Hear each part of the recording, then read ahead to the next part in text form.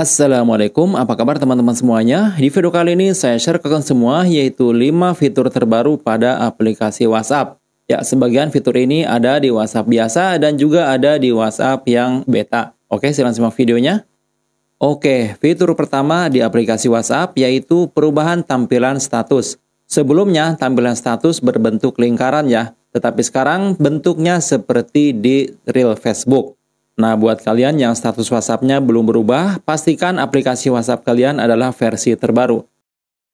Selain itu, pastikan kalian juga sudah mengikuti salurannya. Jika belum mengikuti, maka tampilan status WhatsApp kalian masih seperti lama ya, kayak gini. Dan setelah mengikuti channel, maka kalian akan mendapatkan status WhatsApp-nya berubah. Kemudian fitur yang kedua di aplikasi WhatsApp yaitu menambahkan tulisan pada konten yang akan kita bagikan. Contoh di sini saya mendapatkan kiriman foto.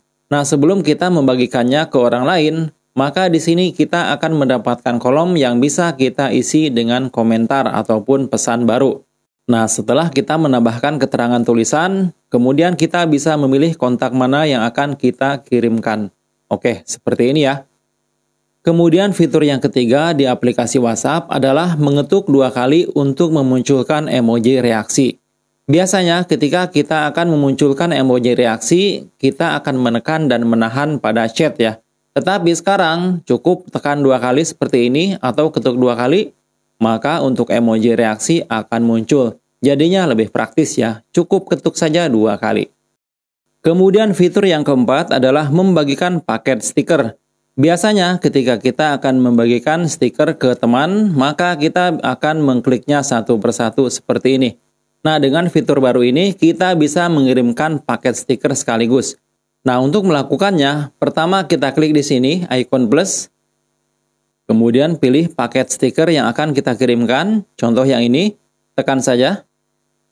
Lalu klik di atas. Berikutnya pilih kontak yang akan kita kirimi eh, paket stiker. Oke, selanjutnya untuk paket stiker akan terkirim ke teman yang di sana. Lanjut ke fitur yang kelima yaitu menjadikan reaksi emoji sebagai animasi. Caranya seperti biasa, kita buka untuk emojinya. Setelah itu klik icon plus. Berikutnya ketikkan saja pesta. Berikutnya kita pilih emoji yang ini. Dan setelah itu reaksi emoji akan terkirim dalam berbentuk animasi. Oh, mantap sekali ya. Baik teman-teman dan mungkin sekian saja untuk video pada kesempatan kali ini. Semoga bermanfaat. Terima kasih banyak sudah menonton. Wassalamualaikum warahmatullahi wabarakatuh.